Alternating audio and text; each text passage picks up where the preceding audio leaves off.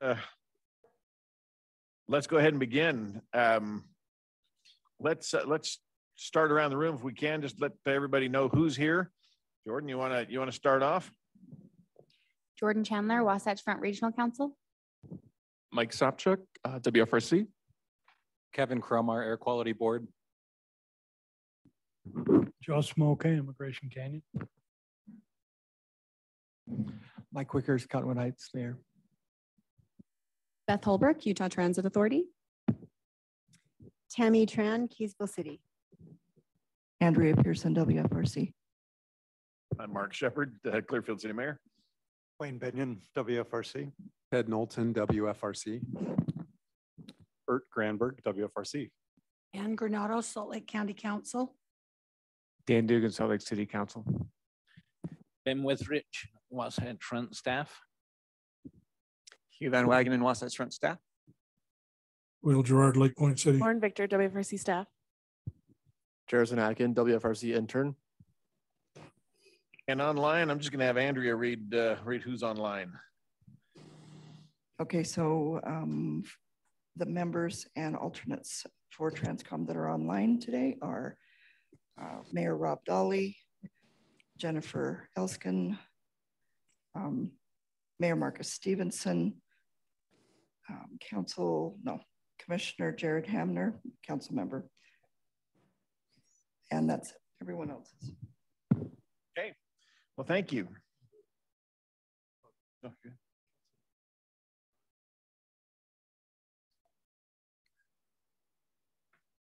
I'm sorry, yes, and also Council Member, um, I hope I say it right, Gerard, Gerard. Very good. Okay, so we have uh, minutes on the agenda from our June 15th meeting. And uh, I'm gonna ask uh, Kevin to make the motion since uh, he had a correction to them.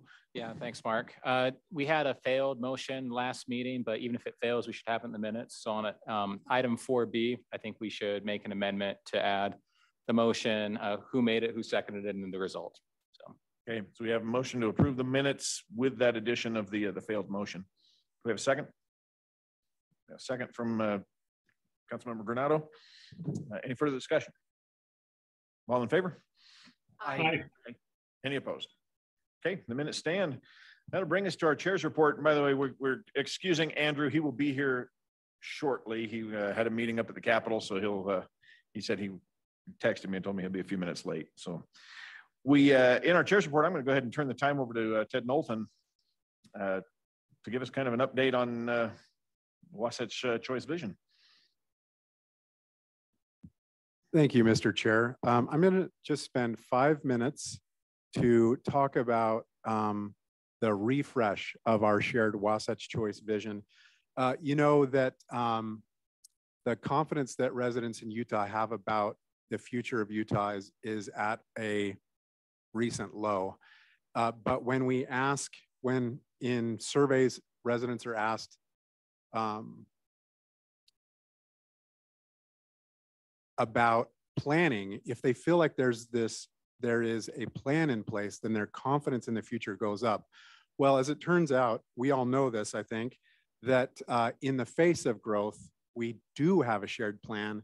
Um, we've just gotten to the end of a four-year uh, planning cycle collaboratively, culminating just um, in May in the adoption of the Regional Transportation Plan.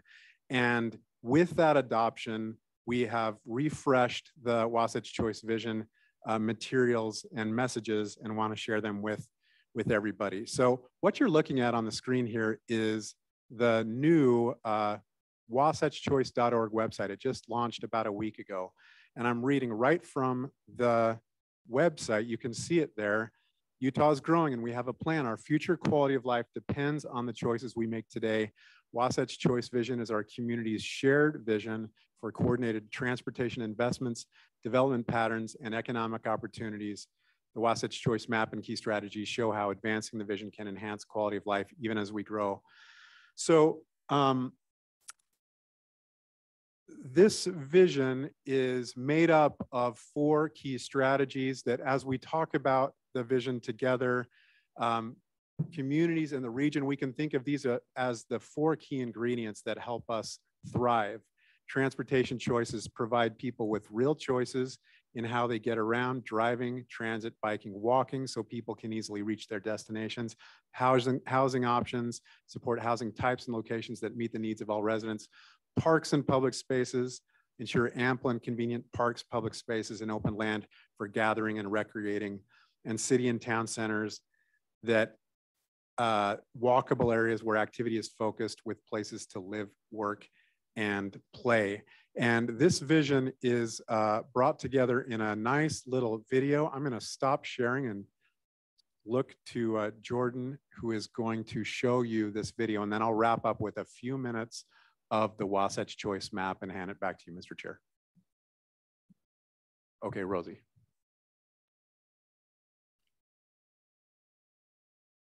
Utah is growing, and we have a plan. Our future quality of life depends on the choices we make today. The Wasatch Choice Vision is our community's shared vision for transportation investments, development patterns, and economic opportunities. Utah is one of the fastest growing states in the nation, and with rapid growth come challenges and opportunities. The Wasatch Choice Vision was created with broad community input. It represents a shared vision for our future. Its four key strategies can help us find solutions as we address challenges and plan for tomorrow in a way that preserves and even enhances our quality of life. Looking at our streets and trails, it's apparent more people want to walk and bike in our communities. Wasatch Choice includes our shared plan for investment to support biking and walking, as well as roadways and public transportation.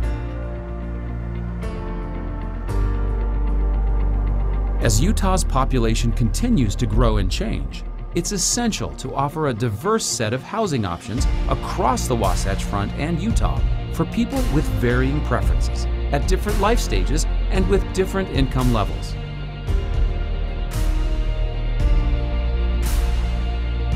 Our outdoor recreation areas continue to face a record number of visitors year after year, not just in the mountains or at our national parks, but also in parks and on trails closer to home. We need more parks and public spaces as we grow.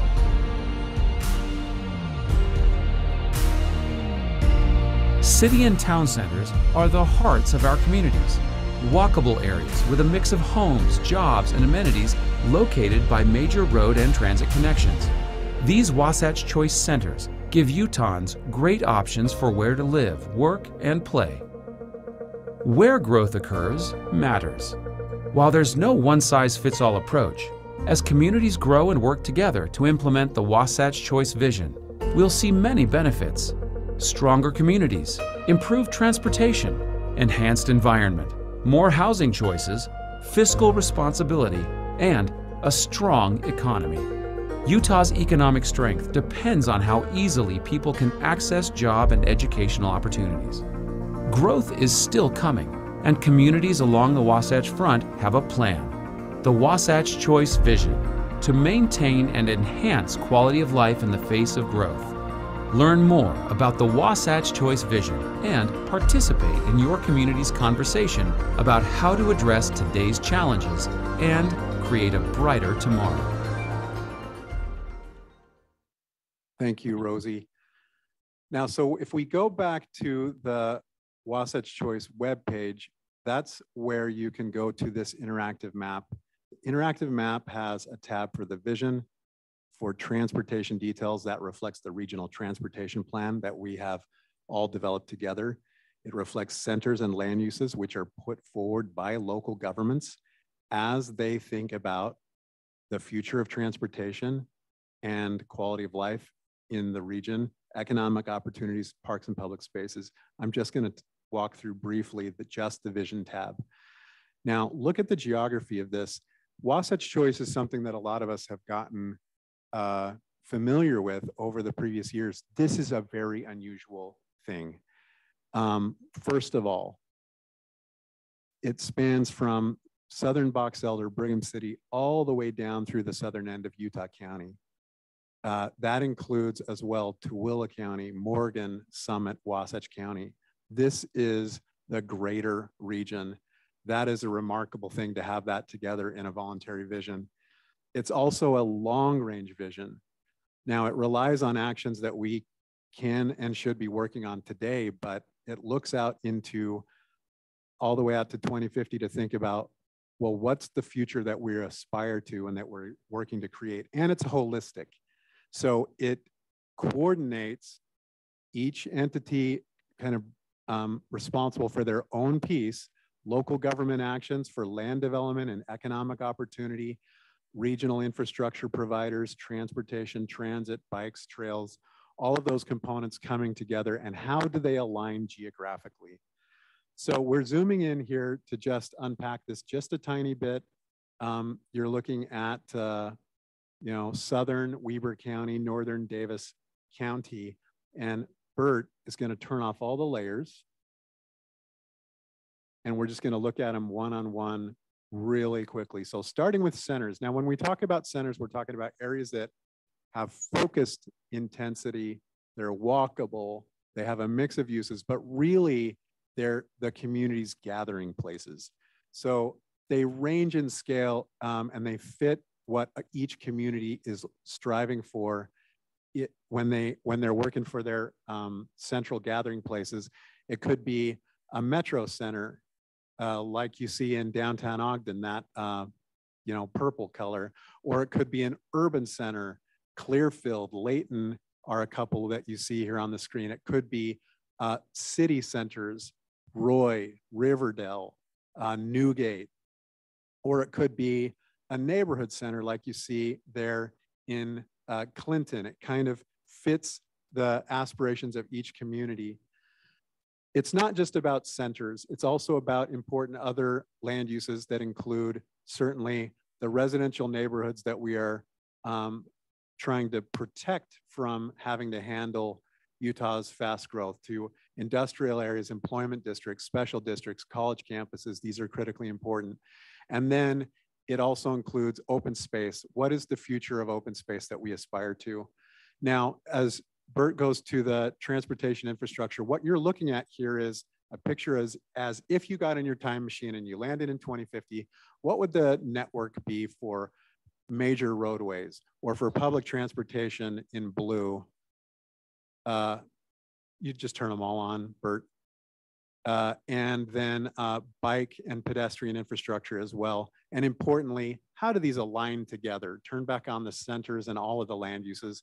And this is really the question, how do we align these? I'll just leave it that we forecast the benefits of if we together implement this voluntary regional vision, which is so unusual across the country, we, we calculate that people can get to 30% more destinations within a, a, typical commute than if we don't do it. Um, that we'd save about 35 square miles of development than if we don't do this, and that uh, you know we we could reduce our water consumption by three billion gallons a year. These are really significant benefits, and they attest to the value of us coordinating our planning. Mr. Chair, that's uh, our little overview of the refre refreshed Wasatch Choice Vision. Thank you, Ted. Appreciate that. It is a great site. If you haven't been onto it, go in and play with it. It's uh, I, I do think we should have said we do have a plan. Not just that we have one, but uh, anyhow, great, very, very good. And then uh, going to turn some time over to Wayne real quick. If you'd just kind of give us an update on our safety action plan. Thank you, Mr. Chair. As we've talked in Transcom before, uh, in collaboration with local governments and UDOT and UTA, uh, WFRC, was asked to lead the development of a comprehensive safety action plan for the region. And, uh, and were awarded funding through the Safe Streets and Roads for All program uh, to accomplish this, along with a, a local match uh, that the regional council has uh, provided. And just wanted to take this opportunity to remind you, if you haven't seen this invite in your inbox, um, next Tuesday at 10 a.m., there's a virtual kickoff or launch meeting for development of this uh, safety action plan over the next several months, which will make local governments, once it's completed, will make local governments eligible to apply for uh, funding through this Safe Streets for All program uh, to actually implement uh, safety improvements. So any questions about that? 10 o'clock next Tuesday, August 22nd, virtual launch meeting. And then one other note, uh, also related to funding, uh, just wanted to remind everyone, Andrea Olson at our last meeting of Transcom talked about this, but uh, the Transportation Investment Fund and the Transit Transportation Investment Fund uh, are re, UDOT is receiving nominations or the application period uh, for nominations for those funds uh, is open until August 31st. So just wanted to give that reminder. Thank you. Thank you, Wayne. The uh, meeting next Tuesday is virtual, so bring your own snacks, but uh, but be there anywhere or anyway. So, do we have anyone here for a public comment? I don't think there was anybody online either, so we will move for forward. We've got uh, a few things to discuss with our uh, transportation improvement program. Um, couple of couple of different items. First is a request to modify the existing 20, 2023 2028 uh, tip, which Ben will uh, will review with us. And the second is the draft 2024 2029 tip. Um, talking about billions of dollars here, so uh, I would not be the guy to, to, to describe it all for you. That would, would really, you know, fall to Ben. So um, when these are done, we will need motions on these, but we're, because trans, because uh, WFRC meets next week, we need recommendations for them to approve and uh, not approval from us today. So Ben, it's yours. Mr. Chair. So with the items, as the chairs indicated, there are a couple items that we will cover today, and we'll get into more description of the tip. Normally we do that in the preface, but we'll do that later on in the discussion here. So item 4A is an action uh, board modification for your review and recommendation to the council. And 4B, the action or the recommend the approval, and we'll get into that with some little enthusiasm and excitement as we move forward here. In your meeting materials, there are four tables that are attached to a resolution. This is a very fairly large board modification. Each of those four tables has at least four new projects. This particular first page has five new projects. We'll review these quickly. We will not go into the detail on these projects with the regional council, they will take the recommendation from Transcom. So hence we'll have the opportunity to review these together. So the very first project is a project in Tooele. This is a request from UDOT.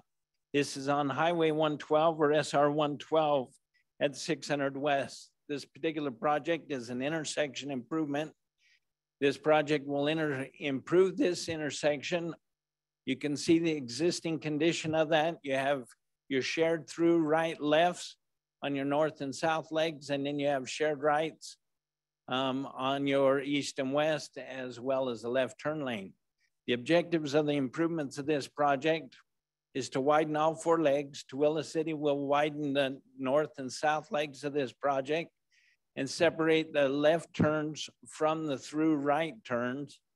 And then the east-west legs or Highway 112 they will separate all the movements there with a, a left turning, a through lane, and a right turning lane for that particular project.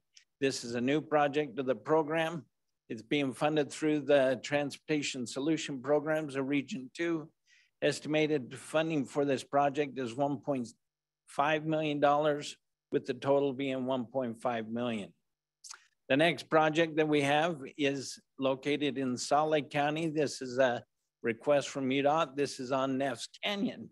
This is a trailhead improvement, uh, a little different from a normal project with UDOT, but because of the funding and the application, this is a project located in Mill Creek Canyon. This is to resurface the trailhead parking lot and install new restrooms in this facility. You can see a couple of pictures of the existing I didn't have any pictures of the, what you don't have before you have a restroom construction. But this particular project um, has some, the Federal Consolidation Appropriation Act funds of 2023. And in Mill Creek City, we'll have a local match on that project. So we have 800,000 coming from the, the FCAA and then the 58,000 plus from Mill Creek for a total project cost of 858,000 plus. The next project is also in Salt Lake City. This is a project down in Bluffdale. Uh, Bluffdale was successful in a request for some discretionary funds for a pedestrian overpass. In the particular area, this is the study area or the location for the need of the overpass. You can see some of the obstacles that they have to cross over with the East Jordan Canal, the Utah Salt Lake Central or Canal, the Jordan River, you got the Union Pacific and the UTA railroads. And if you look clear to the top there, that's the existing undercrossing there for that whole facility. Down near the very bottom there, you can see a new school. Um, right here is an existing at-grade private crossing of the railroad right there at Cinch Way. You can see the, the middle school there. The intention here of this project is to construct these are two of the areas, the alternatives that they're looking at for the improvements, but it's to design and construct the pedestrian bicycle bridge over the railroad, the canal, and the Jordan River. Um, the new funds come from a 3.2 plus million dollar of railroad crossing elimination and in the local match of 646,000 plus from Bluffdale City. The next project that we have is a project in Tooele. This particular project is on the Mid Valley Highway. Now, this is uh, looking at the map through Google, and if we were to align what the study area is for the Mid Valley Highway, to line that right up, give you an idea where the Mid Valley Highway study area is. Here it is, looking at it, you can see the alignments that are being evaluated. The purpose of this board modification takes place down here at the Tooele Army Depot area. This request is for right-of-way purchase. Uh, they're anticipating that this purchase of this right-of-way could take as much as three years. So they're requesting this as a separate project for right-of-way in this area for 500,000. The next project here is in uh, Ibapah Road. This is a little far out there in Tooele County, um, almost over by Wendover area. This particular area is for roadway and safety improvements. The, the intent of this or looking at this project is not only the roadway surface project, but it's also to install guardrails, update traffic signs, and upgrade the drainage in the culvert area. Now, this has funding from several locations. It's a total funding amount of 18 plus million dollars. Um, in this, we got 3.5 million from the Federal Consolidated Appropriations Act. We have 254,000 plus from Tooele County. We have six plus million from the Rural Surface Transportation Grant Program and 8.3 plus million from the nationally significant um, federal lands and tribal project. So a combined effort to accomplish a great deal of work on this little road way out to the west. That brings us to our next table. This has four board modifications included in it. The first board modification is a project up in Weber County. This is a UDOT project on US 89. This project is for pavement rehabilitation between Wall Avenue and 2700 North. Uh, the pavements began to deteriorate quicker than anticipated because of the severe winter we had and the additional amount, well, anticipated uh, increasingly high traffic volumes on this particular facility. A couple of pictures on there. Not only is the roadway deteriorating, but there's rutting that's involved. So this project will remove and replace a rotomill and overlay a 1.5 inch of pavement It'll uh, restore the pavement surface. Estimated project cost is $5.5 million. And this, these funds come through the high volume program that the, the department has set aside. The next project is in Davis County. This is on US 89. This between SR 193 and Weber River. This project is a project that's outside of the 89 project that just completed or is finishing up with some little minor touches here. But on this particular road, this also has seen an increase of volume of traffic and the pavement is also accelerating in deterioration. So the idea is to come in and do a pavement rehabilitation in this particular area. It's a new project estimated to cost 5.4 plus million dollars. It'll also road a mill and overlay with a 1.5 inch pavement and reduce the rutting and restore the pavement surface. Our next project is back up in Weber. This is a UDOT project. This is on Wall Avenue or SR 204. And this is between 23rd Street and US 89. Now, this project was previously on the tip and it was funded, but as they began the design work for this project, with the anticipation to be go into construction in 2024. The engineer's estimate is a bit higher. And so the region is requesting an additional amount of funds so that this project, when ready, can go out for ad, um, advertising. So they're requesting $3.6 million, giving us a total project volume or amount of 5.1 plus million dollars. The next project is in Davis County. This is on 2000 West or SR 108. This is to reconstruct and widen SR 108 or 2000 West between 300 North and 1800 North. This takes an existing three lane section. Can see looking on the far side there where we're still a three lane section with some shoulder. And it is to expand that facility to a five lane section with the shoulder. Um, they've advertised this project. The project went out and uh, came back at 116% above engineer's estimate. They did not think it would be if they were to re-advertise it, that they would be able to get better bids. So they're requesting the additional funds on this project.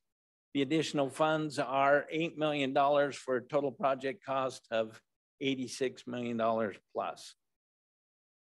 That brings us to our next table. And in that next table, it uh, begins to introduce a couple of new projects.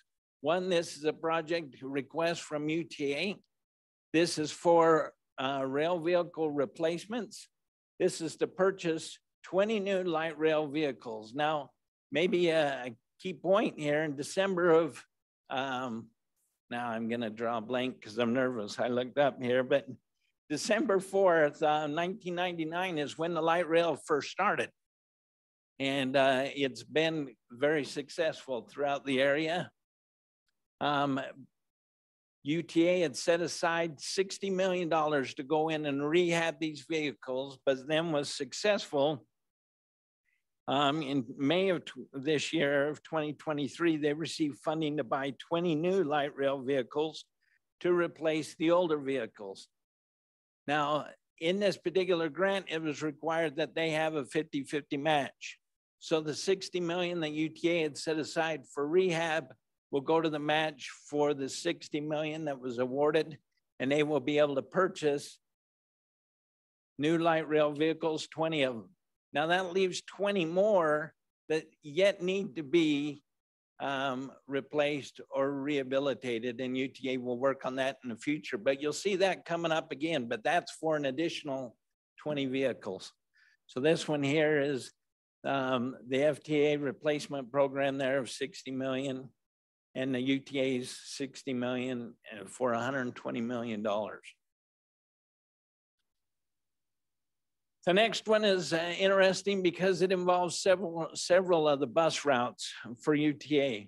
Um, this one is, uh, they were successful in June of this year, and they were selected to receive a Low-No grant funding to buy 25 low emission compressed natural gas buses to replace the older diesel buses. Now they They don't look too bad, right? But those are the diesel buses. We're all about new and improved air quality and improvements there. This is the natural gas bus. So they will buy 25 low emission compressed natural gas buses. It'll replace those older diesel buses. But the reason I showed you all the routes of UTA is because these buses that they will purchase will serve the disadvantaged communities. It'll also install a new CNG or compressed natural gas pump there at the Depot District facility. So they got 17 plus million in the FTA low, no emissions. And then UTA has the $3 million for the local match. The next project here is a bridge replacement project. This is in Salt Lake County. This to replace a locally owned bridge in Holladay City. This particular bridge structure is on a federal aid eligible facility. So the bridge funding program will replace or will contribute funds for this project at 6.6 plus million dollars, but because it's on a federal aid eligible facility, it will require a local match of 480,000 plus. And Holladay City is good with that for a total project cost of 7.1 plus million. The next project is also a structure. This is a structure in Midvale City. This is also locally owned and also on a federal aid eligible facility. This particular facility here will be covered with the Bridge Formula Program.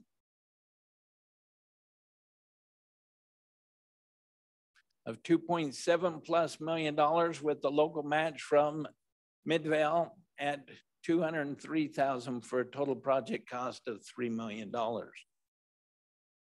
That brings us to our fourth table. The fourth table also introduces more structures. So the first structure we'll look at is a Salt Lake replaced locally owned bridge in Riverton City. This particular facility is on 134 South over the Utah and Salt Lake Canal. This is also on a federal aid eligible facility. So Riverton City will also pay a local match for the improvements on this project. 2.2 plus million of the bridge formula funds and 162,000 plus of the local match for a total project of $2.4 million. The next project is in Salt Lake County. This is to replace a locally owned bridge in Salt Lake City.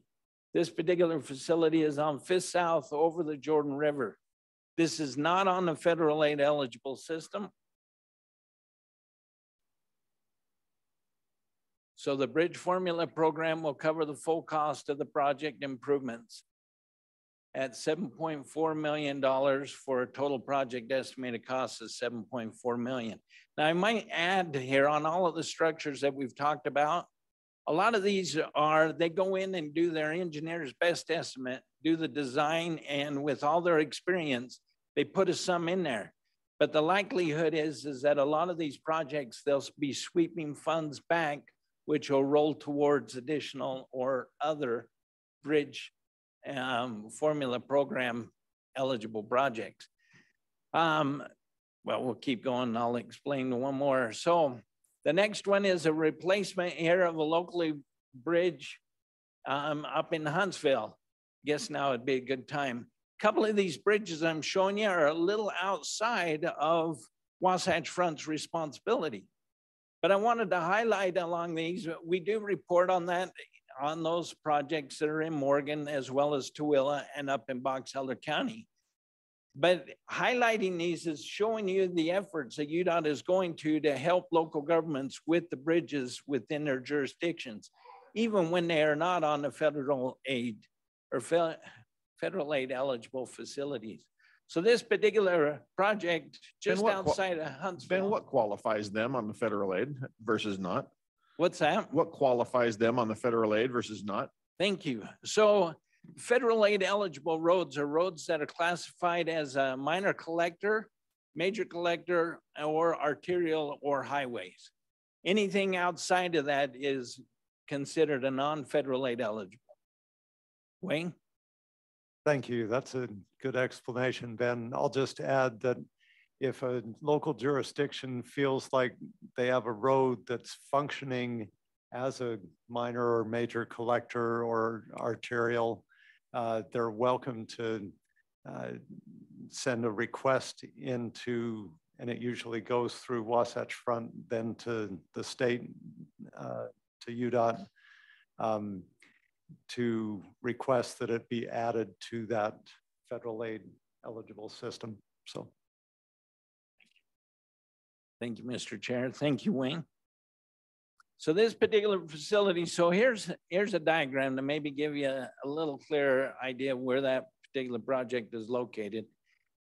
And, and Google don't even have a street view of this project, but we were by aerial able to zoom in and look at it a little closer there. But you can see um, this particular facility, all of these bridges that we've showed you are below poor, are below fair to poor in their ratings as the state goes through and rates all the bridges. That's where they become or come up with their prioritization. So this particular project is $1.9 million to be funded with the Bridge Formula Program. The last project is actually up in Box Elder County, and this is uh, all over. So we're going to show all four of these fairly quickly, but it's interesting there to look along some of the area. This is the area where the bridges will be located outside of the MPO area, but still within Box Elder County and still highlights or illustrates the efforts of the department to program on the bridge. The first project is near Portage on 258 uh, North Center Street. This is up by the Bear River. See that particular project? The next project is located near Garland at 5600 West and 176 North. Looking at that particular one. The third project is located near Fielding on the West Canal Bridge.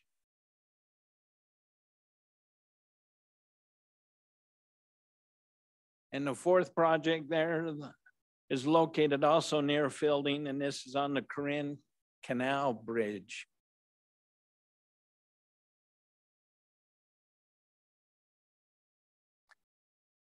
So all of these four projects up in Box Elder County to work on all four of them, that's estimated to $8.9 million. And the Bridge Formula Fund will cover the cost on all four of those bridges. That would conclude all of the projects for this board modification. Thank you very much, Ben. Any questions for Ben before we, uh, we take a motion? Okay, then we, yes, sir. I don't remember ever uh, seeing this, and maybe it's just my lack of experience, which is vast lack of experience. Uh, seeing this organization uh, distribute funds to the UTA, Utah Transit Authority. Is, has that been done in the past?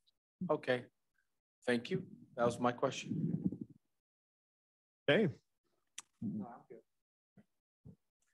Then I would entertain a I'll motion. Make a motion, if Mr. Chair, if you're ready to receive it. Yes. Can I, I'm sorry, may I just add one brief supplement? We do, we have historically done so through our funding programs, but I think it's important to note that all projects, whether they're from city, county, UTA, or UDOT, all are evaluated competitively, and they all have to stand on their merits.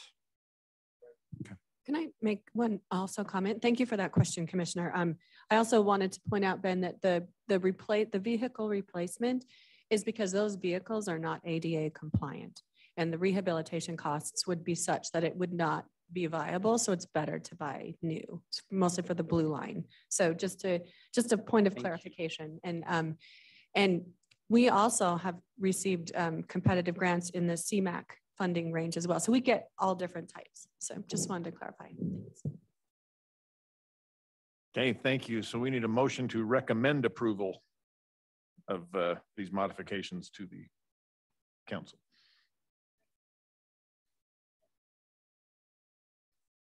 I'll second. we have a motion from Mayor Tran and, and now a second from Commissioner Harvey. You got that stolen right out from underneath you, Jim. That's all right. Any further discussion? All in favor? Aye. Aye. Any opposed? Okay, that is unanimous and uh, we'll turn the time back over to Ben for the 24, 29. Thank you. Thank you very much. So in a lot of our areas, uh, school started today, summer's coming to an end. So maybe, you know, if you got some marshmallows and some chocolate, we've got some more stuff that we're going to talk about here. This is the exciting stuff. This right here is your recommendation to the Regional Council for approval of the 2024-2029 Transportation Improvement Program.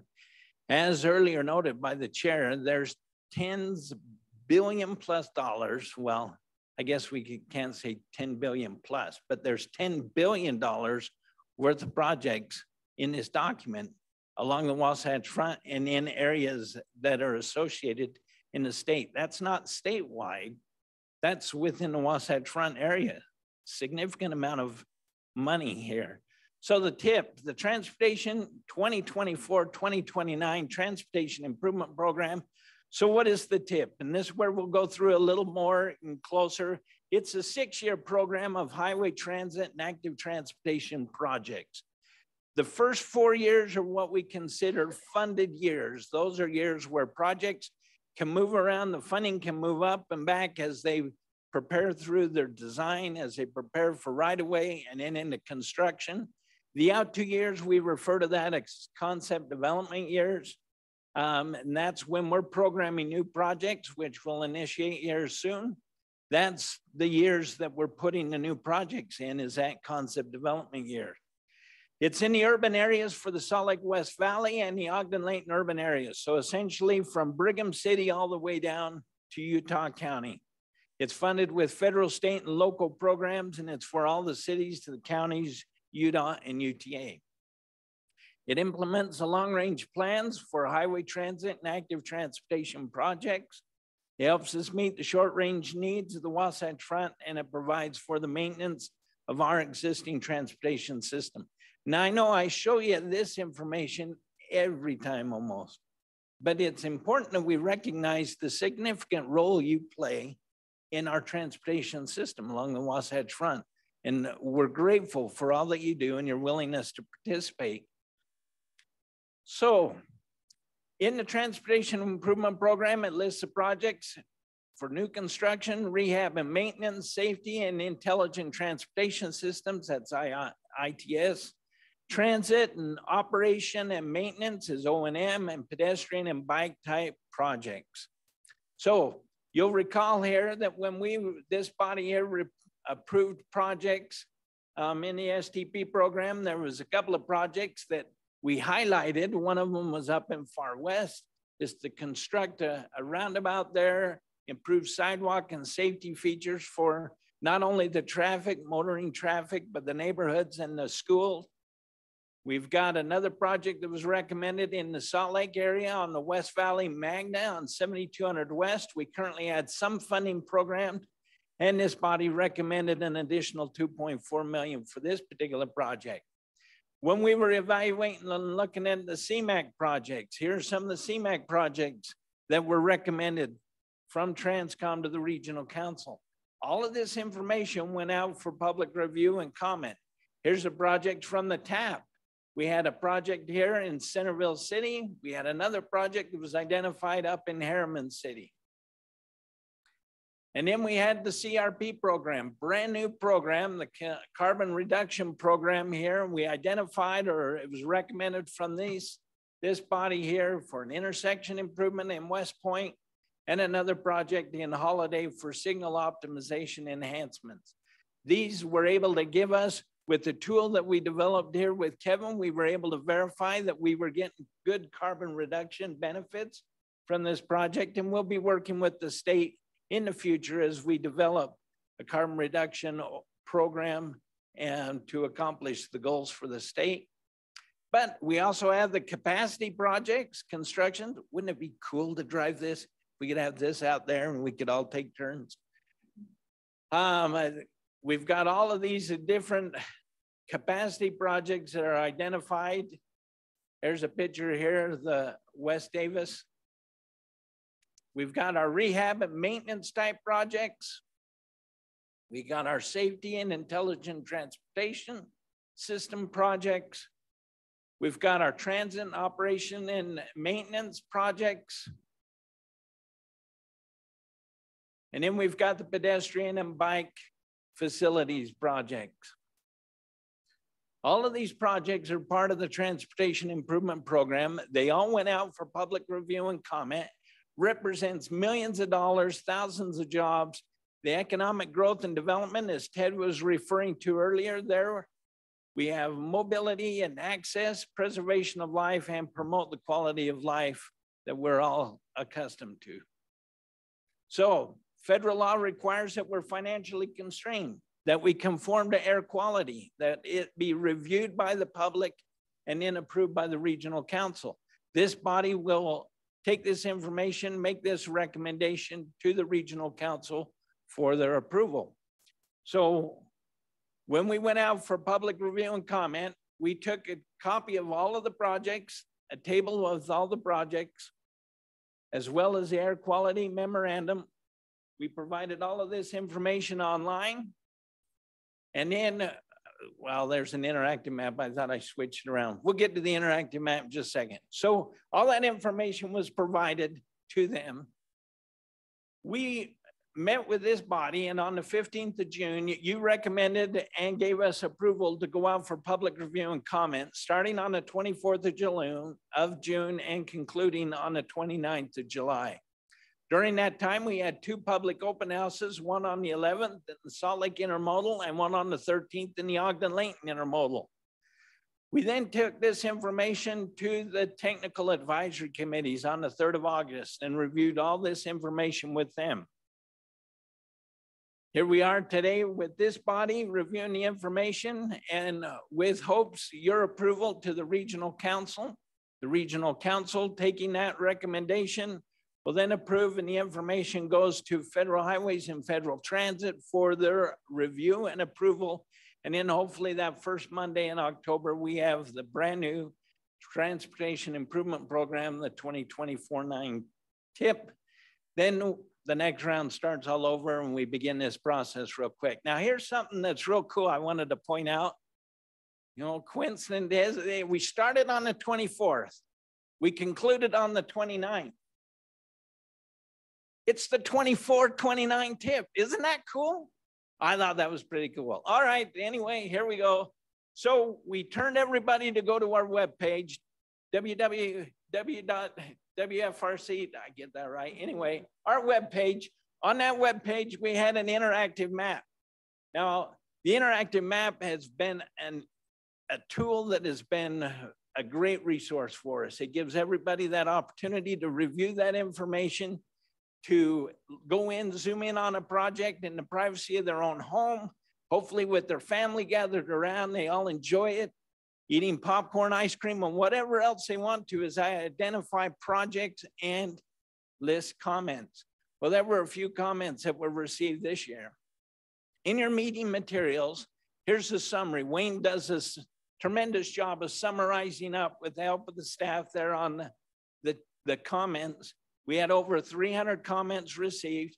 And then also in your meeting materials are all of the individual comments that are received. So statistic wise, we had 189 comments that were project specific on the interactive map. We had 108 comments on the interactive map as a general comment. We had nine specific comments from the open houses. And then we had one from an email we had approximately 4,200 plus views over social, social media content promoting the tip and the public comment period, and 217 engagements with those posts like likes, shares, likes, clicks, all that other stuff that goes with social media. Anyway, all of that was reviewed and received. Now, so what happens with our public comment? Do we just gather it and throw it away? No, actually, when we gather it, we document it. And then we present that to the various committees, the project meetings, and then those uh, appropriate improvements are implemented into the project. Now, this is something that a lot of times you tell that to folks and they go, yeah, sure you do.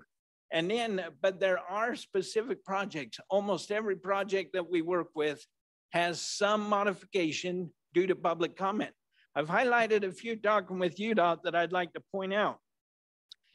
The, the one project, pin 17627, if you want to get technical on it, it's a, a project to add northbound lane, install a portable CFI to the south leg of, oh, sorry, I should tell you what project. This is on Redwood Road, and this is the improvement from 6200 South to I-215, a significant road owned by UDOT. Everybody knows that it's busy, but through the public comment period, um, well, I'll tell you all that the project includes first.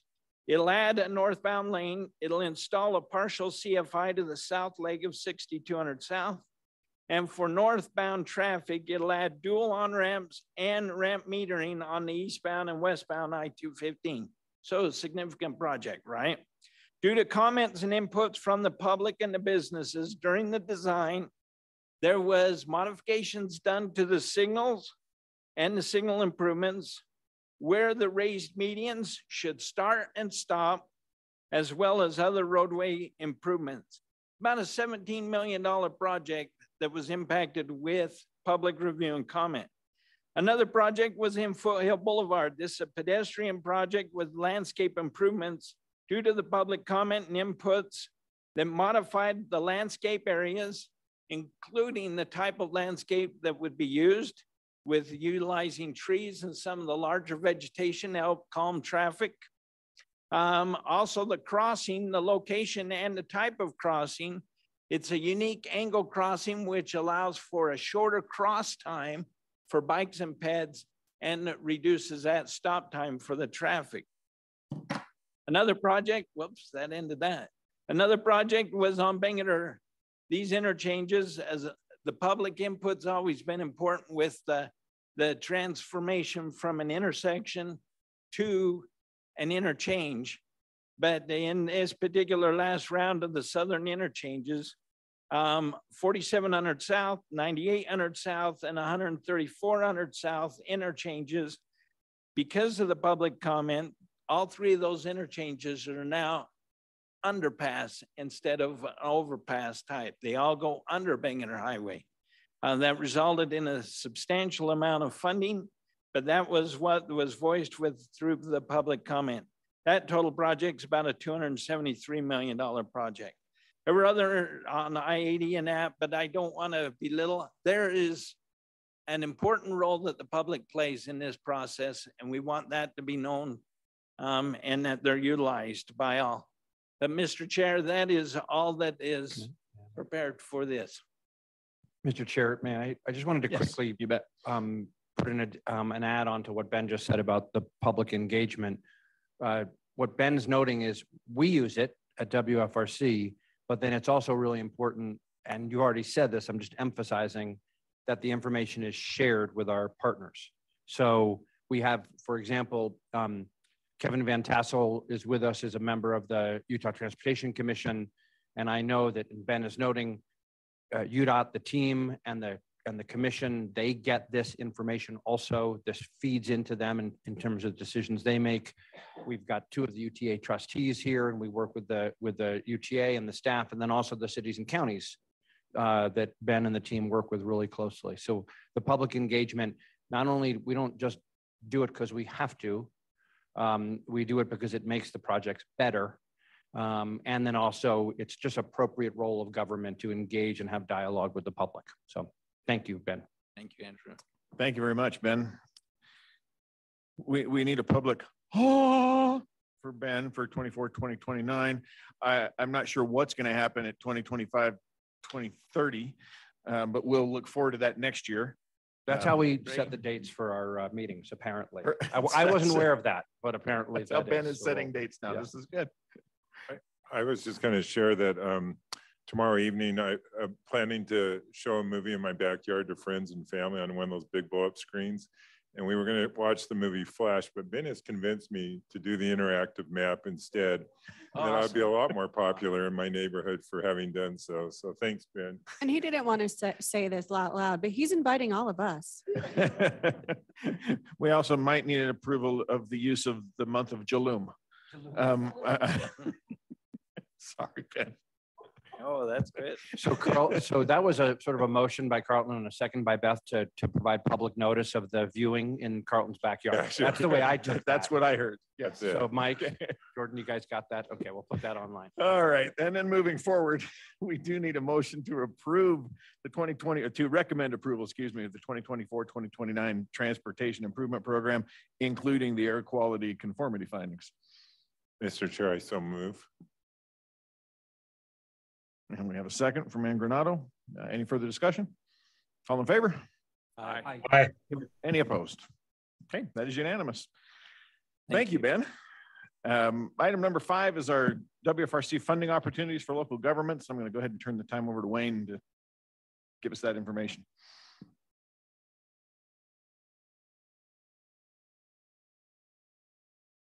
Thank you, Mr. Chair, and apologies to those who have heard this already today, but uh, as you're aware, WFRC administers or assists with uh, various, several funding programs. Uh, And since the application cycle is just about to begin again, uh, we thought we'd take the opportunity to briefly overview uh, these programs that WFRC has the opportunity to administer.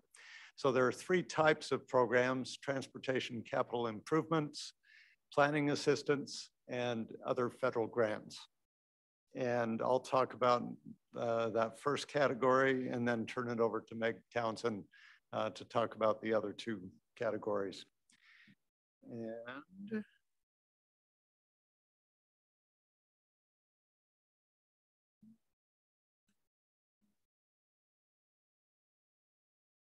Thank you. So the surface transportation program uh, is, those funds can be used for all kinds of uh, roadway improvements, transit improvements, and active transportation improvements. The congestion mitigation, air quality, and carbon reduction programs are obviously, as you're well aware, focused on making air quality improvements or for projects that uh, reduce emissions. And then the Transportation Alternatives Program is focused on planning and uh, construction of uh, pedestrian and bicycle facilities. So with that, I'll turn it over to Meg.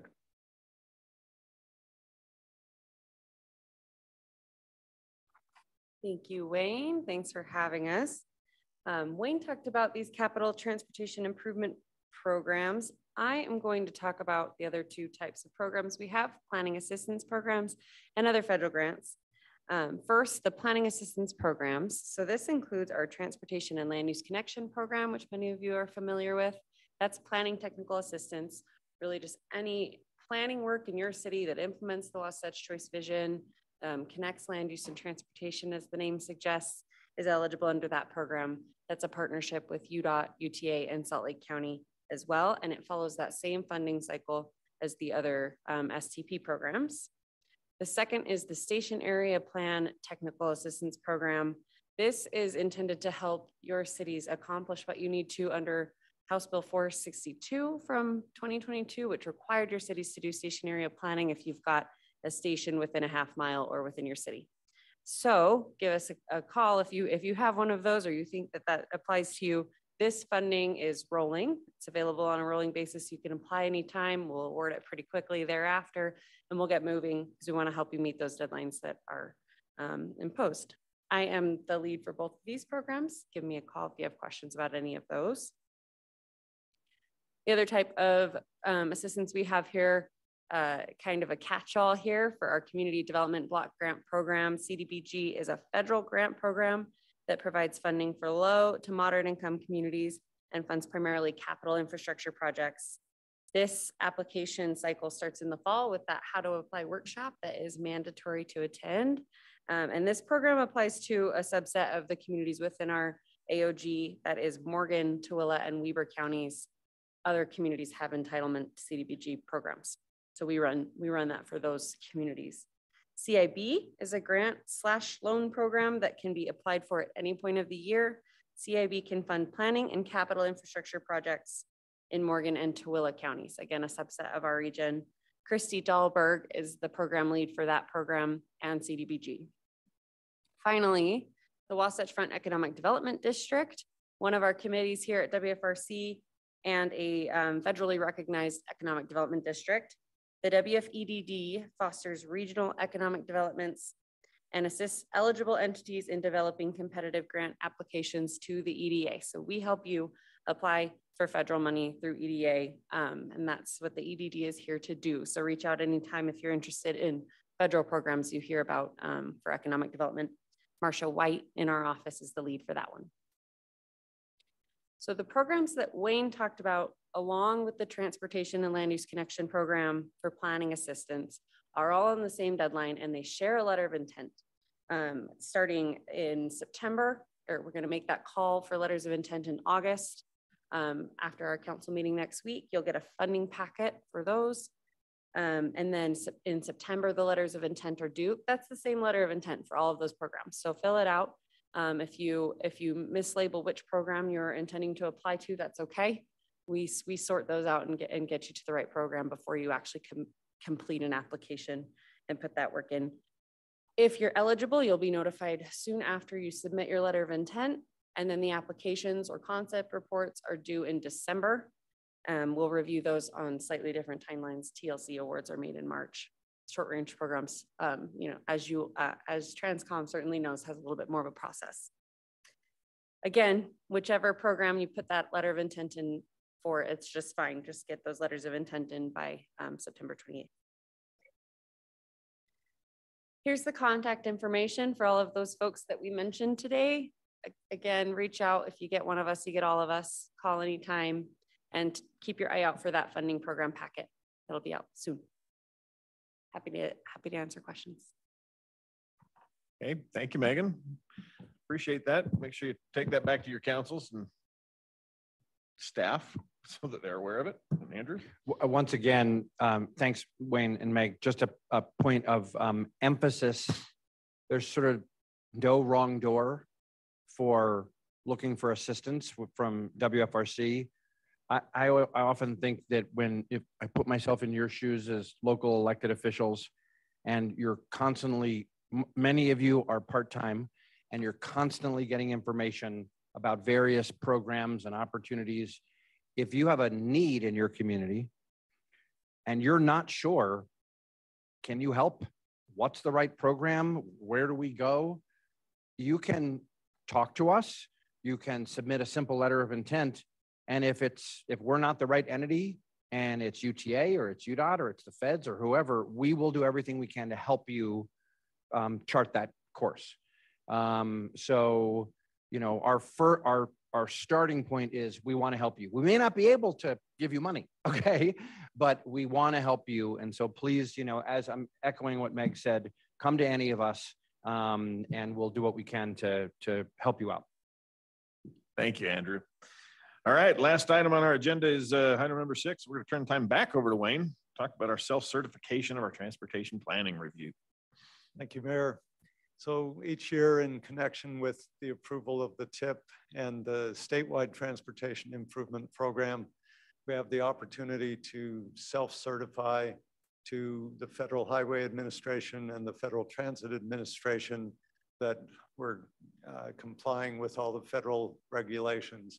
In other words, that the joint process among UTA, UDOT, and WFRC is compliant with all the federal regulations. So in your meeting materials, there's a 20-ish page document outlining how we're complying with all the uh, requirements of the planning process.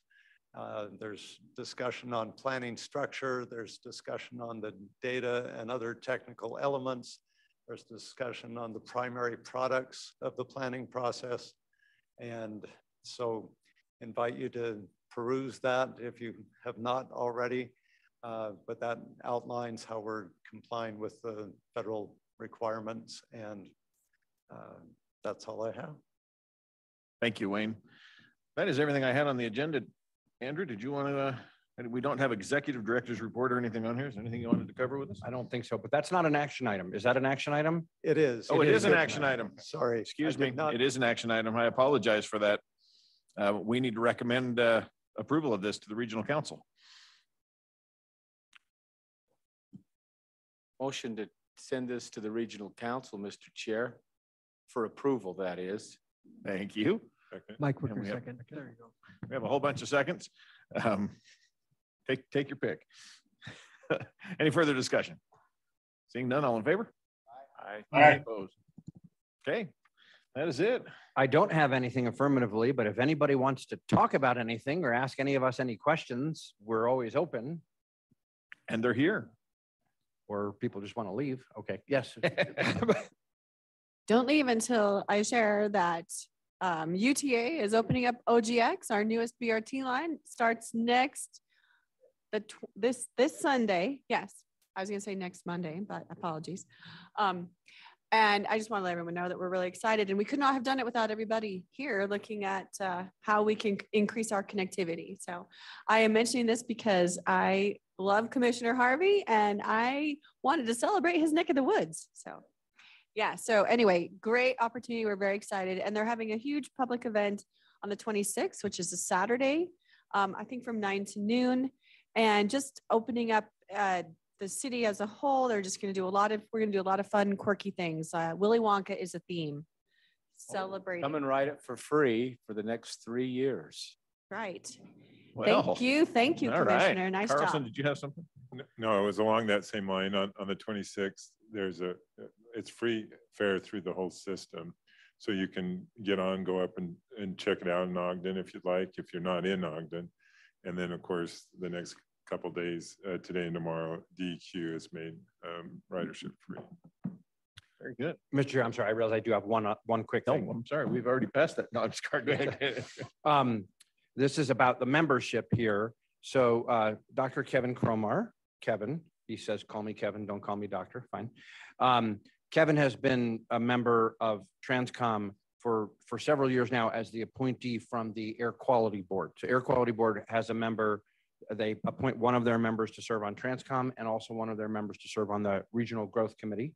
Um, and this is Kevin's last meeting uh, with Aw. Trans Com. But you will be happy to know that he's, he's not departing from WFRC. He's actually switching over to Regional Growth Committee. Um, so he is now going to be the appointee, well, is, and came this morning. So Kevin spent like the whole day with us. Thank you. Um, switching over to the Regional Growth Committee. Um, Mayor Silvestrini, Jeff Silvestrini is now a member of the Air Quality Board and he is going to be a member of Trans Com. So he'll be swapping out for Kevin.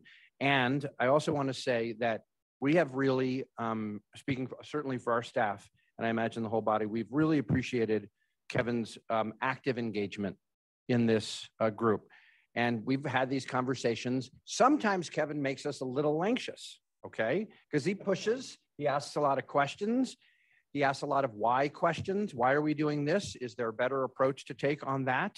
But always with the intention of achieving the max, the maximum possible benefit with the dollars we're allocating and maximum benefit for air quality and for the community. So I just want to express appreciation to you, Kevin. Thank you. Amen. We'll second that. All right, anything else? Entertain a motion to adjourn. We have a second? Okay. Stand adjourned.